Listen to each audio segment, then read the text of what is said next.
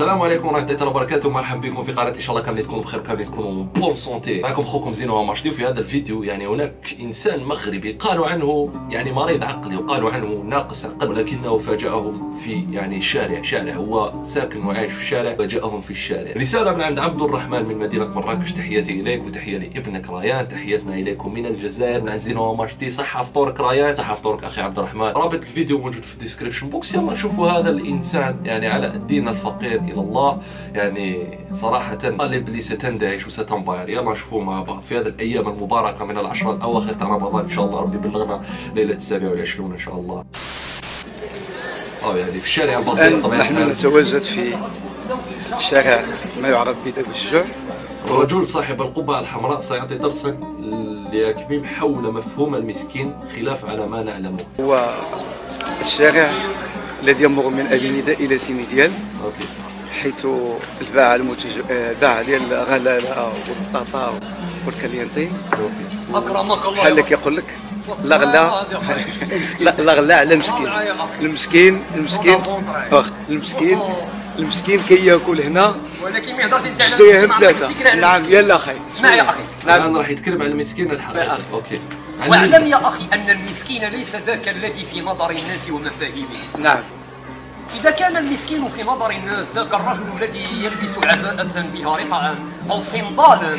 من خفة نعل قديم الله على فصاحة اللسان فإنهم قد أخطأوا الخطأ الفادح في حياة الناس.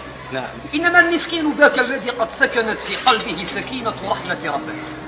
واعلم يا أخي أن سيد المساكين ألا وهو حبيب الله محمد صلى الله عليه وسلم. الذي فتح عينه على الدنيا فوجد نفسه يتيما محروما من الأب والأم قبل كل شيء. ذاك الرجل الفقير الذي لا يسكن بيتا على من يرعى عنهم الغنم من أبناء عمومته من بني قريش. بقرية يثرب يا أخي العزيز إن السكينة هي المسكنة. في حقيقة الأمر. وليس الثوب والهندام والحسم والنسب نعم. أو ما لك بين أديه نعم. فإنه أعوذ بالله من ثلاث أنا أعوذ بالله من قولة أنا ومن أكون أنا إلا عبد رب العالمين في بلاد الله بين عباده. سبحان الله وإن الله يعني فصاحته تفوق فصاحة بعض الأئمة المتخرجون من أشهر المساجد في العالم يعني صراحة فصاحة رهيبة جدا. اللهم ارزقه الشفاء يا رب العالمين. إن كان يعني عنده أين لأنه على حسب رسالة عبد الرحمن يعني نوعا ما إنسان آه، كما يقولوا عليه آه، مسكين ماشي مسكين المقصود تاعها مسكين آه، ماديا وإنما مسكين حتى في عقله يعني عنده نقص في عقله. الله أعلم يعني أنا صراحة ما نعرفه شخصيا ولكن إن كان عنده أي حاجة يحتاجها إن شاء الله يا رب رزقه إياها يا رب العالمين. ولا ينظر إلى صوركم بل ينظر إلى قلوبكم. إلا من أتى الله بقلب سليم. إذا المنظور المنظور الحقيقة في هذا المسكين ليس ذاك الذي يفهمونه الناس بمفاهيمه الخاطئة. إنما المسكين من سكنت السكينة في قلبه رحمة رب العالمين. وما أرسلناك إلا رحمة للعالمين. جزاكم الله الرحمة خيرا. التي يرجوها كل إنسان. واعلم يا أخي إن مثل الناس على الأرض مثل ذاك الذي يسكن القصر كمثل ذاك الذي يسكن الخيمة كمثل ذلك الذي فراشه الأرض وغطاؤه السماء. نعم. بالدليل والبرهان والسلطان العظيم. وما خلقكم وما بعثكم إلا كنفس واحدة. إذا كل من يمشي على الأرض مسكين يا أخي. شكرا أخي. الله جزاكم الله خيرا. ما اسمك الكريم؟ اسمي علاء الدين. اسمي على مساعد علاء الدين المسكين أعطى درس لي ولكم جميعا. ولحتى المصور الذي انبهر يعني بفصاحته وانبهر بالدرس الذي أعطاه. وصراحة فصاحة اللسان هي التي أعجبتني في هذا الإنسان في علاء الدين. فصاحة اللسان لا توصف. واو. مغربي من أي مدينة؟ إن مسقط رأسي في الحقيقة مدينة العراء أنا مغربي الجنسية عربي الأصل أسكن حاليا في مدينة وسطان دار الضمان. وأعلم يا أخي أن لا فرق بيننا مهما كنا في أي تراب من تراب إلى الإله آه هي الرسالة التي وصل إليها. وأعلم يا أخي أن لا فرق بيننا في أي تراب من تراب الله. فنحن من تراب وإلى تراب من تراب على تراب إلى التراب. فلماذا يعني تدير هذاك الفارق بين الجزائري والمغربي؟ ولماذا تدير الفارق بين المغربي والجزائري؟ ولماذا تدير الفرق بين الجزائري والتونسي ولا المغربي والتونسي؟ ولماذا تدير الفرق بين السعودي والمغربي؟ فوالله العلي العظيم ستحاسب على أي كتابة كتبتها فيها العنصرية في réseaux sociaux. في وسائل التواصل الاجتماعي ستبقى تلك الكلمات التي كتبتها يعني في يوم من الأيام. نوعا ما تثير الكره وتثير البغض وتثير العنصرية ستحاسب عليها. فراجع نفسك قبل أن تكتب أي كلمة. هذا علاء الدين. يعني أعطى درس في ثلاثة دقائق.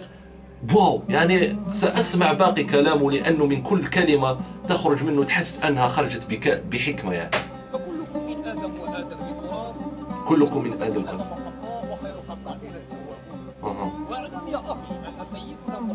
صلى الله عليه وسلم هذا الذي قال الله فيه. إني خلقت الكون وجعلته لمحمد وخلقت محمدا وجعلته لي فمن أحبه أحببته ومن أبغضه أبغضته وإنه ولي وأنا وليه والله ولي المؤمنون والمؤمنون أولياء الله. ومن عاداه لي أقمتها عليه حربا إلى يوم القيامة الله مولى المؤمنين وما للكافرين من مولى للحديث. بقية يا بقية إن أخي شاء الله شكرا أخي وحينما. نقول للحديث بقية نعم. إن لم يتم هذا الحديث بهذه الدنيا فبقيته بدار البقاء نعم. فإنها هنا في دار الفناء السلام عليكم. وعليكم السلام ورحمة الله تعالى وبركاته. كل كلامه بحكمة. يا سبحان الله يعني والجمال تاع الفصاحة تاعو. لا والله العديد من الأئمة المتخرجون بشهادات الماجستير ومتخرجون بشهادات الماستر والله الفصاحة تاع لسانهم لا تصل حتى واحد من المئة من فصاحة هذا الإنسان على الدين الفقير إلى الله.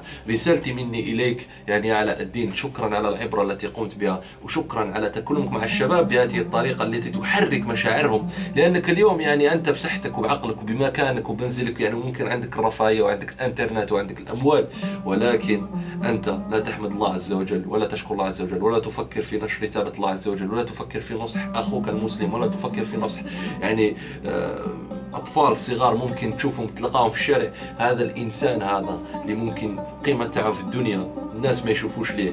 ولكن قيمته عند الله عز وجل الله الذي لا ينظر إلى صورنا وإنما ينظر إلى قلوبنا قيمته عند الله عز وجل ممكن تكون أعلى مما تتصورون.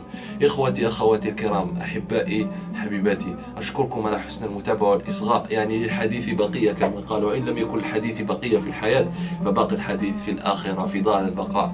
لأن الله عز وجل خلق الإنسان وخلقنا يعني وخلق لنا كل الشروط وكل الظروف اللي تسمح لنا باش نعود نرجع إلى الله عز وجل. مهما غلقت علينا البيبان إلا أنه عندنا نفس وعندنا قارين وعندنا شيطان يعني يوسوس الإنسان ولكن عندنا دواء لكل داء. يعني النفس تاعنا عندها دواء والشيطان عندنا دواء تاعو وكل شيء يعني في الدنيا هذه عندنا عندنا الدواء تاعو يعني حتى وإن صعب ذلك. إذا كنت اليوم أنت مبتلى يعني فيك ابتلاء من أي جهة من الجهات فرفدوا يديكم كاملين وادعوا لنا يا رب ارفد علينا البلاء يا رب. اللهم ارفد عنا الابتلاء اللهم ارفد عنا الابتلاء. لأنه صراحة كاين قلوب وكاين أجساد وقلوب يعني تريد الخروج من العديد من conditions الشروط الصعبة.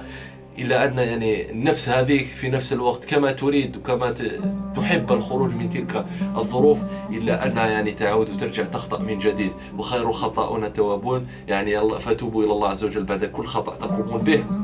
وأشكركم على حسن المتابعه والاصغاء لم يبقى كلامي يعني أقوله فوق الكلام الجميل الذي قاله علاء الدين. شكرا لكم على حسن المتابعة والإصغاء. لا تنسوا الضغط على زر ال like. وربي سبحانه يرزق أي واحد يتابع قناتي. يعني يرزقه الخير إن شاء الله والفرح والسعادة ويفتح له بيبان الخير وينجحوا في أي شيء يريد النجاح فيه. السلام عليكم ورحمة الله وبركاته. peace